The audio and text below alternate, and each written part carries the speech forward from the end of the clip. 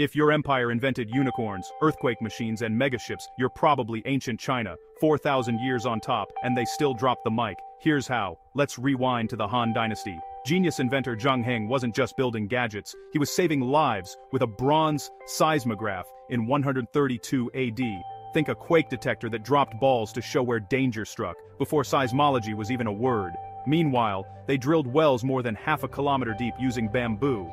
That's like plumbing before plumbing was cool. Fast forward to the Tang dynasty, where Empress Wu Zetian, the only female emperor, ruled a world richer and wilder than any fairy tale. Poetry, trade, and a capital that made Paris look like a village. And then came the Ming. Admiral Zheng He's treasure ships, longer than football fields. He brought back giraffes, mistaken for unicorns. But here's the twist. When China shut its doors, the magic fizzled. So, what happens when today's superpowers stop looking outward? Who will history remember next?